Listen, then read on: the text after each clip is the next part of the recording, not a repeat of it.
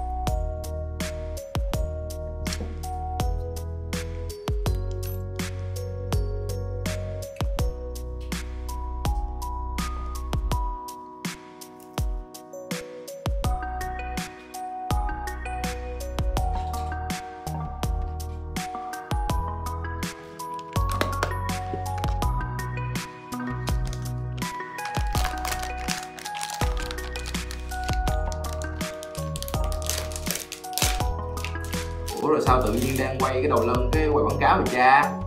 Nếu như quảng cáo, anh sẽ nói như vậy nè Bánh trung thu si sô cô la là loại bánh tươi, có vỏ nhân được làm từ sô cô la nhưng lại có vị ngọt vừa phải. Đặc biệt được làm thủ công và không chứa chất bảo quản, ăn không bị ngấy, an toàn cho sức khỏe. Hơn nữa, si sô cô la còn chích 10.000 đồng từ mỗi hộp bánh bán được để ủng hộ trẻ em nghèo hiếu học. Mỗi hộp bánh gồm 3 bánh với 3 hương vị khác nhau. Khi mua bánh, bạn còn được tặng kèm hai vị sô cô la thơm ngon cùng với một câu chuyện về sự tích chú Cùi, sự tích Thọ Ngọc, sự tích Hằng Nga và sự tích bánh trung thu.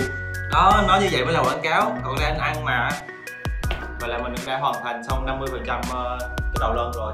Thì ờ, mọi người hãy đón xem vào tập tiếp theo nha. Các bạn muốn mua bánh trung thu thì hãy ấn vào giỏ hàng để ủng hộ mình nha. Cảm ơn tất cả mọi người, bye bye.